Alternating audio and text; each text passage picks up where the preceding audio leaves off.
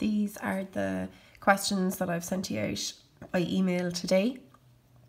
Uh, there's loads of questions there.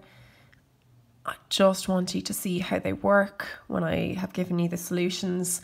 Um, so even if, yeah, like there's a hypothesis testing one.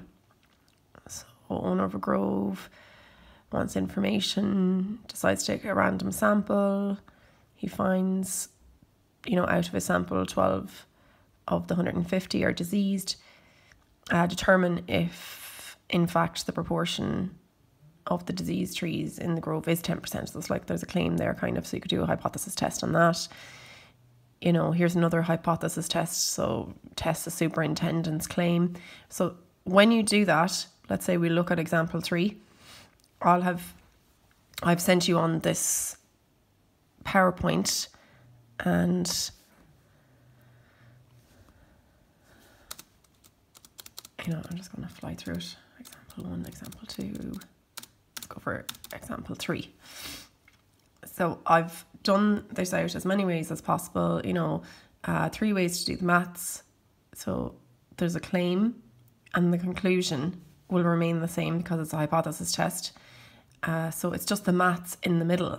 As, as I was explaining to you with a hypothesis test, you have your HO and your H1, so your null and your alternative hypothesis. You do some maths in the middle, and then you have your conclusion.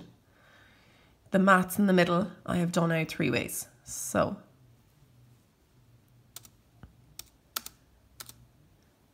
you have your null and alternative hypothesis.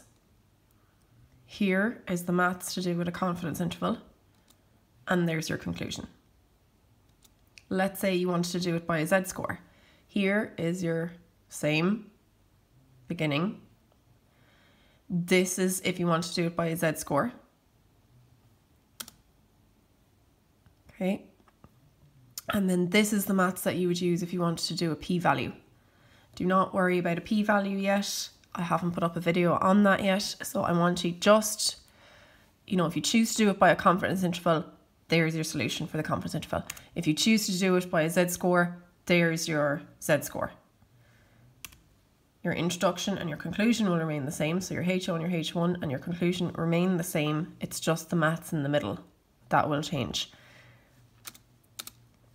As I said, do not bother looking at the p-values solution. I will show you that.